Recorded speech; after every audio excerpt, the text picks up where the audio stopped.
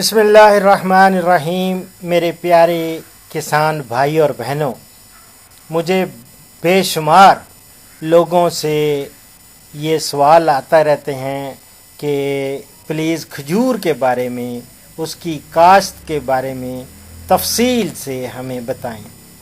آپ کو معلوم ہے، کھجور جسے ڈیٹ پام انگلش میں کہتے ہیں، اردو میں کھجور اور عربی میں نخیل اور بلوچی میں اس کو نہ یا خرما، خرماگ یہ کہتے ہیں۔ اور اس کا آپ کو معلوم ہے کہ مادری وطن خلیج فارس کے نوائی علاقے ایران، عراق، عرب اور جنوبی افریقہ کو تصور کیا جاتا ہے۔ اور پاکستان میں البتہ یہ مختلف جگہوں پہ یہ اس کی کاشت کی جاتی ہے۔ اگر دنیا کو دیکھیں تو سب سے زیادہ کھجور ایران میں پیدا ہوتی ہے اور دوسرے نمبر پر عراق میں اور تیسرے نمبر پر مصر میں اور چوتھے نمبر پر سعودی عربیہ اور پانچواں ہمارا نمبر ہے، پانچویں نمبر پر پاکستان یہ ہے۔ اور اس کے علاوہ دنیا کے اکتیس بڑے ممالک میں کھجور کے درخت پائے جاتے ہیں۔ اور پاکستان میں یہ صوبہ بلوچستان میں مکران، خاران اور صوبہ پنجاب میں مظفر گڑھ ملتان، ڈیرہ غازی خان بہاول پور ساہیوال، فیصل آباد یہ تو پنجاب میں اور صوبہ سندھ میں خیرپور اور سکھر اس کی، اس کا گھر ہے۔ اور صوبہ سرحد میں ڈیرہ اسماعیل خان یہ ایسے اضلاع ہیں جہاں پہ کھجور کی کاشت کو بہت موزوں سمجھا جاتا ہے۔ آب و ہوا اس کے لیے خشک آب و ہوا درکار ہے اور پھول نکلتے وقت موسم خشک ہونا بہت ضروری ہے۔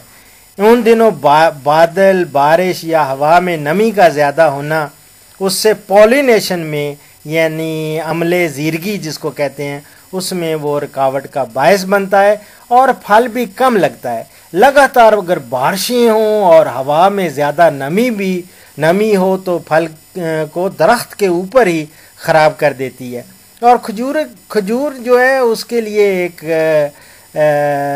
مثل مشہور ہے کہ اس کا سر آگ میں اور جڑیں پانی میں ہونی چاہیے۔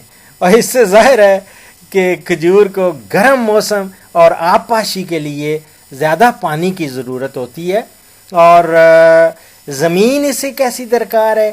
یہ آپ جہاں جو لوگ اس میں دلچسپی لینا، لے رہے ہیں، وہ لگانا چاہتے ہیں، تو وہ ذہن نشین کر لیں کہ کھجور کا پودا ہلکی میرا زمین میں اچھی نشو نما پاتا ہے، تاہم یہ چکنی بھاری زمین میں بھی ہو جاتا ہے۔ ایسی زمین اس کی پیداوار کے حوالے سے بہت موزوں ہوتی ہے۔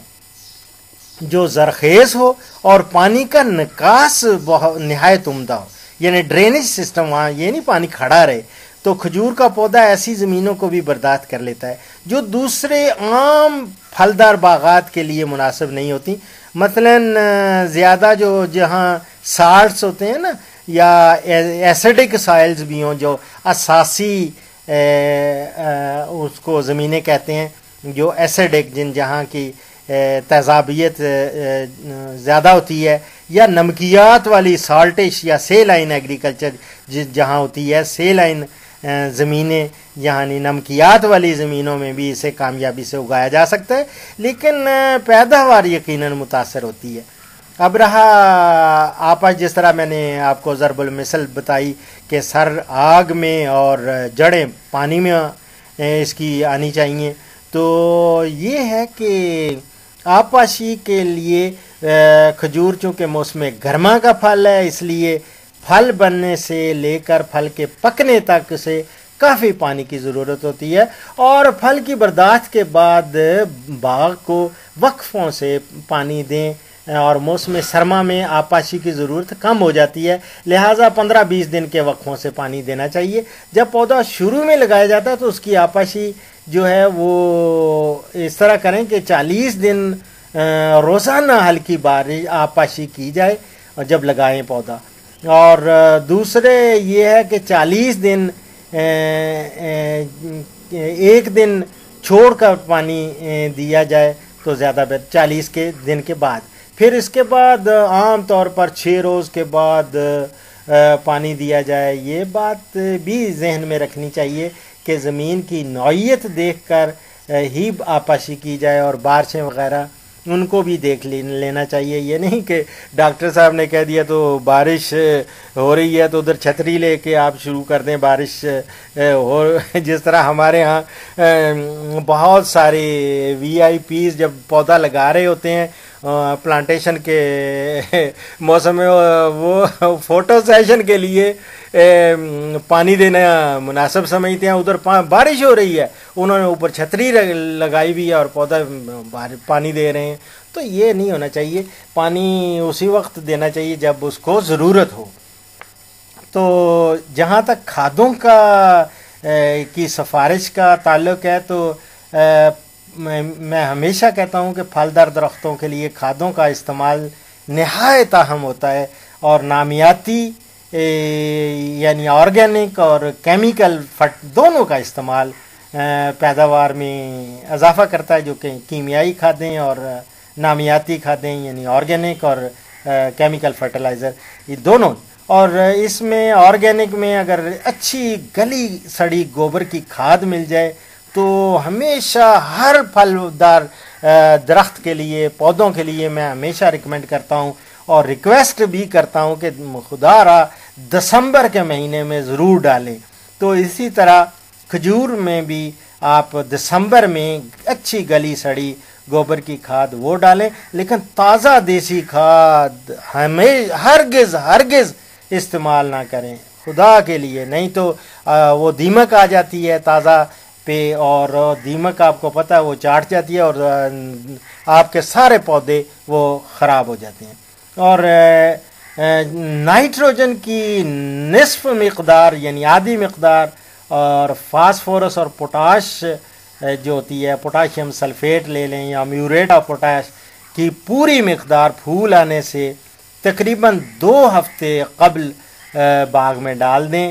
نائٹروجن کی باقی جو نصف مقدار ہے، پھل بننے کے بعد یعنی وسط اپریل میں ڈال دیں اور فوراً آپاشی کریں۔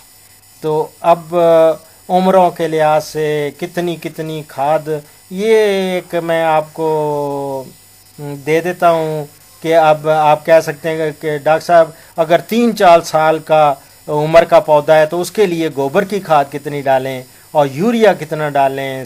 اور آپ نے سلف، سل، وہ فاسفورس کا کہا، کون سی فاسفورس زیادہ بہتر ہے؟ اور پوٹاشیم کے لیے پوٹاشیم سلفیٹ وہ کتنے ڈالیں؟ تو میری جان، بات یہ ہے کہ تین سے چار سال کا پودا ہو تو اس کے لیے دس کلو آپ گوبر کی کھاد ڈالیں اور یوریا کو آدھا کلو ڈال دیں اور آدھا کلو ہی آپ سنگل سپر فاسفیٹ ڈال دیں اور یہ سمجھ لیں کہ آدھا پاؤ کر لیں۔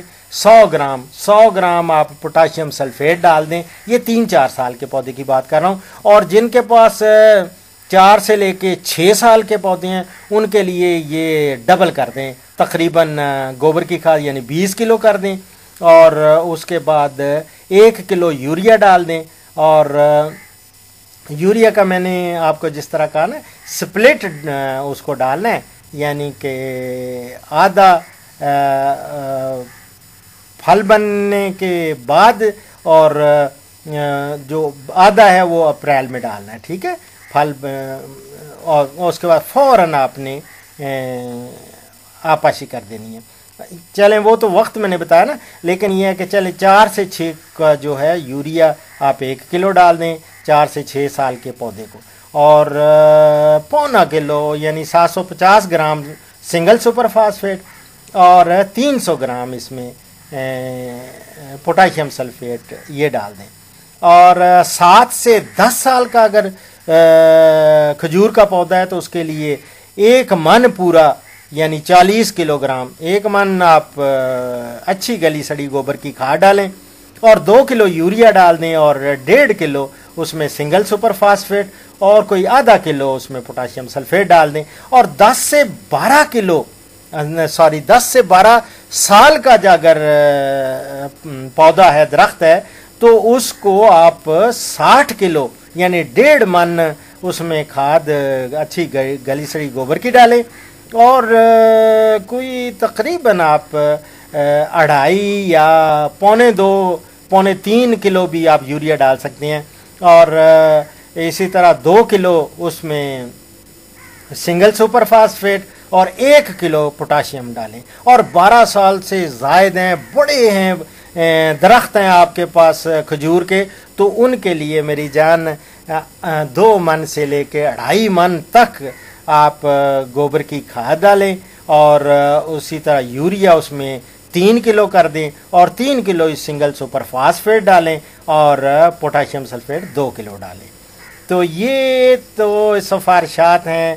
ہمارے بہت پیارے جو سائنسدان جنہوں نے کھجور پہ عمریں گزاری ہیں ریسرچ کرتے ہوئے، یہ ان کی ریکمنڈیشنز دے رہا ہوں۔ اور اسی طرح اگر اس کی افزائش نسل جو ہے وہ کس طرح ہوتی ہے، وہ مجھے حیدرآباد دکن سے بھی سوال آیا تھا اور بھی لوگ کرتے رہتے ہیں۔ تو کھجور کی افزائش نسل، بذریعہ بیج یا زیر بچہ سے کی جاتی ہے۔ یعنی زیر بچہ اس کو سکر کہتے ہیں اور گٹھلی جو بیج ہوتا ہے، گٹھلی سے یعنی بیج کہ جب کھجور کھاتے ہیں تو گٹھلیاں نکلتی ہیں جو بہت سارے لوگ اس کو کلوں میں اور بہت سارے وظائف میں وہ استعمال کرتے ہیں اور چالیسویں میں، پتہ نہیں کون کون سی اور بھی رسومات ہیں جہاں پہ یہ استعمال میں ہوتی ہے، اس کو گنتے رہتے ہیں گٹھلیوں کو۔ اور گٹھلیوں سے آپ یعنی بیج کے ذریعے تیار کیے ہوئے پودے مخلوط نسل تیار کرنے میں بہت کارآمد ہیں۔ تاہم مختلف سفارش کردہ اقسام کے پودے تیار کرنے میں اس طریقے کا کوئی کردار نہیں ہے۔ بذریعہ بیج تیار ہونے والے پودے بہت دیر سے پھل دیتے ہیں۔ علاوہ ازین نر اور مادہ پودوں کی پہچان پھول نکلنے سے پہلے ممکن نہیں ہوتی، کیونکہ نر پودے پھل نہیں دیتے اس لیے نر پودوں پر ہونے والے اخراجات ضائع ہو جاتے ہیں۔ تو بذریعہ زیر بچہ ہو بہو اسی نسل جیسے پودے ہوتے ہیں، جس طرح کہ اس کا ماں جو جس نسل سے یا جس قسم سے وہ پودا زیر بچہ لیا جاتا ہے۔ ایک پودا عام طور پر بیس سے تیس زیر بچے دیتا ہے، لیکن ان چیزوں کا انحصار پودے کی قسم کھادوں کے استعمال آب پاشی اور مٹی چڑھانے پر ہوتا ہے۔ ان زیر بچوں سے اچھی جڑیں حاصل کرنے کے لیے ضروری ہے کہ ان کی زمین مسلسل گیارہ ماہ تک گلی رہے، جس پودے سے زیر بچے الگ کیے جائیں گے۔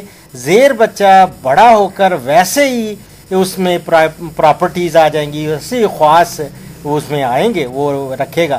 اگر نر پودے سے زیر بچے الگ کیے جائیں گے تو سب نر ہوں گے، اور مادہ سے لیے جائیں گے تو زیر بچے سارے مادہ ہوں گے۔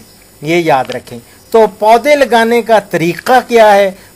کھجور کے پودے کو پورا سال، پورے سال میں لگایا جا سکتا ہے۔ موسم بہار البتہ یعنی فروری سے مارچ اور موسم خزاں، اگست، ستمبر، یہ نہایت موضوع ہیں اور باغات میں پودوں کا درمیانی فاصلہ کو پچیس بیس سے پچیس فٹ ہونا چاہیے۔ جہاں پودا لگانا ہو، وہاں گھڑا تین فٹ چوڑا اور تین فٹ ہی گہرا۔ وہ آپ کھود لیں اور گڑھوں کو تقریباً ایک مہینہ تک کھلا رہنے دیں۔ اور اوپر والی مٹی برابر حصہ میں گوبر اوپر والی مٹی کو علیحدہ کر لیں اور اس میں برابر حصہ گوبر کی گوبر کی کھا یعنی گوبر کی اچھی گلی سڑی کھاد لیں اور نالی کی مٹی ملا کر گڑوں کو زمین کی سطح سے چھ انچ اونچا بھر دیا جائے اور فوراً آپاشی کر دینی چاہیے۔ جب زمین میں نمی آ جائے تو پودے کو اصل جگہ پر لگا دینا چاہیے اور ارد گرد کی مٹی کو اچھی طرح دبا دیا جائے تاکہ تمام ہوا خارج ہو جائے اور لگانے کے فوراً بعد آپاشی کرنی چاہیے۔ ایک بات کا خیال، خاص خیال رکھنا چاہیے کہ پانی اوپر پودے کے اوپر والے حصے سے اندر داخل نہ ہو۔ کیونکہ اس سے پودے کے مرنے کا خطرہ ہو سکتا ہے۔ لگانے کے بعد سر اس کا ڈھانپ دیا جائے تاکہ گرمی اور سردی سے محفوظ رہے۔ اس کو روزانہ چالیس دن تک پانی دینا چاہیے۔ ڈیلی چالیس دن تک پھر پانی دینا چاہیے۔ اور اس کے بعد زمین کے نوعیت کے مطابق پانی جلدی اور زیادہ دینا۔ وہ جس طرح میں نے پہلے آپاشی میں آپ کو بتایا، کس طرح آپاشی کرنی ہے۔ اور زیر بچے کی اب نرسری کیسے لگانی ہے؟ پودے سے زیر بچہ یعنی سکر جو ہے وہ علیحدہ کرنے کے بعد جڑوں پر پانی ڈالا جائے اور نرسری میں جتنی جلد ممکن ہو اسے لگا دینا چاہیے۔ نرسری کے لیے زمین میں تین چار مرتبہ ہل چلا کر اچھی طرح سے ہموار کر لیا جائے اور پودے ایک میٹر کے فاصلے پر تین فٹ یعنی کہ فاصلے پر لگانے کے فوراً بعد پانی دے دیا جائے۔ پہلے ایک ماہ تک نرسری کو روزانہ ایک، روزانہ بھی کر سکتے ہیں یا ایک دن چھوڑ کر وہ آپ پانی لگائیں۔ اس کے بعد یہ وقفہ بے شک ایک ہفتے تک بڑھا دیں۔ اور دو یا تین سال پودوں کو نرسری میں رہنے کے بعد ان کو باغات میں آپ جہاں لگانا ہے باغات بنانی ہے وہاں منتقل کرے پھر آپ اس وقت پودوں کا دو درمیانی فاصلہ ہے۔ بیس سے پچیس فٹ رکھیں، وہ بہترین آپ کا باغ لگے گا۔ اب رہا کہ اس کی داغ بیل یا پروپیگیشن کس طرح، کھجور کے باغ میں داغ بیل یا کس طرح لگانا ہے، کس طرح کا آپ نے وہ بنانا ہے باغ۔ تو اس میں مربع نما طریقے سے اکثر کی جاتی ہے اور پودے کا فاصلہ بیس فٹ سے پچیس فٹ رکھا جاتا ہے۔ اور اس میں آپ کو سمجھ آ گئی یعنی کہ دونوں مربع نما یعنی روڈ ٹو روڈ ڈسٹینس یعنی وہ بھی بیس سے پچیس فٹ رکھیں یعنی قطار سے قطار کا اور پودے کا فاصلہ بھی بیس سے پچیس فٹ رکھیں۔ اور ایک ماہ قبل میں نے آپ کو جیسے بتایا، تین بائی تین کا یعنی تین فٹ گہرا اور تین فٹ ہی چوڑا وہ گڑا کھود کر اس میں ایک حصہ اوپر کی مٹی، ایک حصہ میں بھل، وہ نالی کی نالی کی کہا مٹی، وہ اس کو بھل بھی کہتے ہیں۔ وہ بھل کی مٹی مل جائے، وہ اس میں اور ایک حصہ اگر اچھی گلی سڑی گوبر کی کھاد مل جائے، اگر نہیں ملتی تو گلے سڑے پتوں کی کھاد بھی مل جائے، تو وہ تو نہایت ہی بہتر ہے۔ اس کو پانی میں، اس کو ملا کر پانی دے دیں اور وتر آنے پر پودے لگانے کے فوراً بعد دوبارہ آپ پاشی کریں۔ اور اب اس کی بہت ساری اقسام ہیں۔ اقسام آپ کو میں چیدہ چیدہ بتا دیتا ہوں۔ وہ ہیں تو بے شمار اقسام ہیں۔ چلیں، کیا یاد کریں گے؟ میں آپ کو بڑی بڑی بتاتا ہوں۔ حلاوی ہے، مکران ہے، ڈکی ہے، زہدی ہے خدروی ہے، اس طرح سیل ہے زیری ہے، شامران ہے، اخروٹ ہے، بیگم جھنگی ہے۔ اور ایک اور قسم ہے، اس کی موزاتی ہے، اصیل ہے۔ اصیل میں نے پہلے سوری، کہا، ڈکی بھی آپ کو بتایا۔ اور اس کی بھی اور اصیل کی بھی کئی قسمیں ہیں۔ اور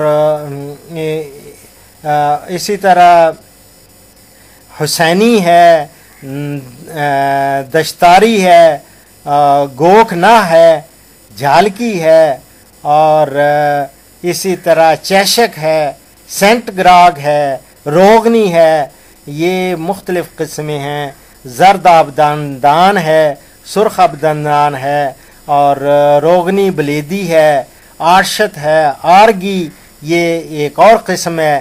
ہلینی اس کی قسم ہے، ہلینی گون ہے اور کنگو ہے، اسی طرح بینڈک ہے، شنگشانش ہے اور شکش ہے اور اسی طرح چیشک کلونٹی ہے اور اسی طرح جالگی گوہی ہے، پیشنا ہے، کلیرک ہے، پشیاگ ہے، پرد ہے، پوست ہے، اجوا ہے اور اب تو ربیہ ہے اور جب آپ حج پہ جاتے ہیں تو وہاں پہ بے شمار قسم کی آپ کو کھجوریں ملتی ہیں اور وہ کھجور جو حضور صلی اللہ علیہ وسلم نے لگائی۔ اپنے ہاتھوں سے اجوا وہ وہ بھی ہے اور مجھے بہت ہی پسند ہے اور حلاوی حلاوی کی کیونکہ بصرہ میں بہت سارے، جہاں میں عراق میں جب پانچ سال گزارے تو حلاوی اور خود روی بہت کھائی میں نے اور بہت ہی میٹھی اور بہت زبردست یہ اقسام ہے تو ہمارے پاکستان کی بھی بہت زبردست ہیں، ڈکی بہت اچھی ہے، اس سے یہ بڑے اچھے بنتے ہیں چھہارے بڑے اچھے ڈرائی کر کے جب ان کو، تو اس طرح بہت ساری ہیں۔ اب رہا کہ ان کو ڈاکٹر صاحب، کئی لوگ مجھے پوچھتے ہیں کہ ان کو کوئی کیڑے، کیڑوں کا کس کا زیادہ حملہ ہوتا ہے اور اس کا کیا سد باب کیا جا سکتا ہے۔ تو بابا، یہ ہے کہ پاکستان میں گزشتہ کئی سالوں سے کھجور کے پودوں پر ایک، ہم نے دیکھا ہے کہ جو چست تیلا ہوتا ہے نا، وہ پلانٹ ہاپر، وہ اس کا حملہ وہ دیکھنے میں آیا، جس کی وجہ بارشیں نہ ہونے کے سبب یہ اور وادیوں میں اگنے والے جڑی بوٹیوں کا خشک ہو جانا اور متبادل خوراک نہ ملنے کی وجہ سے یہ کیڑے مکوڑے جو ہیں، وہ کھجور کے درختوں پر حملہ ور ہو جاتے ہیں۔ اور چست تیلے کا حملہ یہ ہمارا ہمسایہ ملک ہے نا ایران، اس کے کج کھجور ہے، کج قسم۔ وہ اگانے والے علاقوں میں بھی یہ ہمیں رپورٹ ہوا ہے۔ اور یہ موزی کیڑا کھجور کی نچلی شاخوں اور پتوں کو اپنے نوکدار منہ کے ذریعے رس چوستا ہے اور جسم کے پچھلے حصہ سے بدستور خارج کرتا رہتا ہے۔ یعنی ایک وہ ہنی ڈیو کہتے ہیں۔ وہ ایک میٹھا سا۔ ہوتا ہے اور اس طرح کھجور کی شاخوں اور پتوں پر شیرہ جم جاتا ہے۔ وہ، یہ جتنے بھی تیلے ہیں نا، یہ جب رس چوستے ہیں تو وہ جو ایکسکریٹا ہوتا ہے یا اپنی وہ جو فیسز ہوتا ہے یا وہ جو نکالتے ہیں وہ نیچے، اس کا کیا بیٹ، جس طرح پرندے بیٹ کرتے ہیں یا وہ ایکسکریٹا، وہ کیا ہوتا ہے؟ وہ شیرہ سا ہوتا ہے۔ اور جس پر مکھیاں اس کو جو ہوتی ہیں نا، رس چاٹنے کے لیے وہ جمع ہو جاتی ہیں۔ اور اسی طرح ہم نے دیکھا کیڑے مکو کیڑے بھی ادھر چڑھ جاتے ہیں اس کے اوپر۔ اور میں نے بہت ساری بھیڑیں دیکھی ہیں، وہ آتی ہیں اس پہ بہت زیادہ۔ کئی دفعہ اسی، میں کسی وقت آڑو کا جب آپ کو انشاءاللہ کسی پروگرام میں تفصیل سے بتاؤں گا۔ تو آڑو پہ میں نے ایک دفعہ دیکھا کہ اتنی بھیڑیں ہی بھیڑیں۔ تو فوراً میں نے اس گروور کو کہا، میں وزٹ کر رہا تھا ایک باغ۔ تو میں نے کہا، یہاں یار تیلے کا بہت زیادہ مجھے اٹیک نظر آ رہا ہے۔ کہتا ہے جی آپ کو کیسا نظر آیا؟ آپ تو اندر گھسے گھسے ہی نہیں۔ میں نے کہا، یہ بھیڑوں نے مجھے خبر دے دی ہے کہ یہاں پہ نا تیلے کا بہت اٹیک وہ پھر وہی ہوا، میں اندر گیا تو دیکھا، وہ تیلے کا جو ہنی ڈیوز تھے یعنی وہ شیرہ سا پتوں پر جمع تھا، اور ان پہ بھیڑیں ہی بھیڑیں وہ آئی ہوئی تھیں۔ تو میں نے پھر بھیڑوں کا ان کو علاج بتایا، بڑا زبردست علاج بتایا۔ بہرحال اس کا بھائی بابا، یہ جتنے بھی جو چست تیلا ہو یا کوئی اور رس چوسنے والا، اس کے لیے آپ ایک تو رس چوسنے والے بے شمار آپ کو پیسٹیسائڈس مل جاتے ہیں اور وہ آپ لے لیں ماس پلین ہے، آپ کینفیڈور ہے کانفیڈور ہے کانفیڈور یہ فورٹی سی سی یعنی چالیس سی سی یا ایم ایل کہیں کہوں، کیونکہ انڈیا والے، کہیں مجھے فون کرتے ہیں، ڈاکٹر صاحب، یہ سی سی کیا کہتے ہیں؟ او بابا، چلو ایم ایل آپ کریں ایم ایل کر لیں۔ اور اسی طرح پچاس گرام ماسپلن، یہ ماسپلان بھی کوئی کہتے ہیں، ماسپلین کہتے ہیں۔ یہ آپ پانی میں سپرے کر کے نا، تو یہ آپ ان کو وہ سپرے کر دیں۔ اور اس سے آپ دیکھیں گے کہ ان شاء اللہ تعالیٰ نہ ہو تو آپ ریپیلنٹ یوز کر سکتے ہیں یعنی ان کو بگانے والا بہترین میں آپ کو بتاتا رہتا ہوں۔ کسی اور پروگرام میں آپ میرا دیکھ لیں کہ کس طرح نمبولیوں سے اور یہ جو ہوتا ہے نا یہ کیا اس کو کہتے ہیں کوڑ تما تموں سے، کس طرح یہ پیسٹیسائڈ بنایا جاتا ہے بایو پیسٹیسائڈ اور یہ نہ ہینگ لگے، نہ پھڑکڑی اور رنگ جو زیادہ ہو، کو کیا کہتے ہیں، اس طرح بہترین چیز ہے یہ۔ اپنا خود تیار کریں اور سپرے کریں، اور اس سے یہ سارے انسیکٹس پیسٹ جو ہیں، یہ خاص طور پہ رس چوسنے والے کیڑے، یہ بھاگیں گے۔ اور آپ کی فصل، آپ کی، آپ کے کھجور کے درخت سارے، یہ بچ جائیں گے انشاءاللہ۔ اور متبادل طریقے کھجور میں یہ یاد رکھیں کہ نچلی شاخوں سے قدرے نیچے ایک فٹ چوڑی پیلی پلاسٹک شیٹ وہ باندھنی چاہیے، اس کی سطح پر گریس دار وہ ہوتا ہے نا، لیس دار کر دیں گریس لگا دیں یا آسٹیکو ملتا ہے مادہ، وہ لگا دیا جائے۔ تو آسان یہ آسانی سے دستیاب ہے۔ اور تو کوئی بھی شیرہ یا جس پر کیڑے لگتے ہی چمٹ جائیں، وہ لگا دینا چاہیے۔ اس طرح وہ کیڑے جو ان ان کے اوپر چڑھنے کی کوشش کر رہے ہوتے ہیں، وہ وہیں چپک جائیں گے۔ اور اس طرح آپ کا پودا کھجور کا وہ بھی بچ جائے گا۔ اور آپ کو زہروں کا چھڑکاؤ بھی نہیں کرنا پڑے گا۔ تو یہ تھی میری معروضات کھجور کے بارے میں۔ اور پلیز اس پروگرام کو جب دیکھیں تو اپنے کامنٹس ضرور دیں۔ یہ نہیں کہ لائک ہی صرف کرنا ہے، کامنٹس بھی دیں کہ ڈاکٹر صاحب آپ نے یہ پروگرام کیا ٹھیک ہے۔ اور کیا اب بھی اگر تشنگی رہ گئی ہے تو میرا نمبر ہے zero triple three five one two one eight seven nine میں نوبل ڈیڈس فاؤنڈیشن کی طرف سے آپ سب سے گزارش کرتا ہوں کہ پلیز یہ میری باتیں صرف اپنے تک محدود نہ رکھیں، ان کو آگے سے آگے یہ بڑھائیں، یہ دیے سے دیا جلتا ہے اور کبھی بھی علم کو اپنے تک محدود نہ رکھیں۔ اس کو جتنا بڑھائیں گے، اتنا بڑھے گا۔ کہتے ہیں دل کو آغاز محبت میں نہ سمجھو تھوڑا، بڑھتے بڑھتے یہی قطرہ کبھی دریا ہوگا۔ اللہ حافظ۔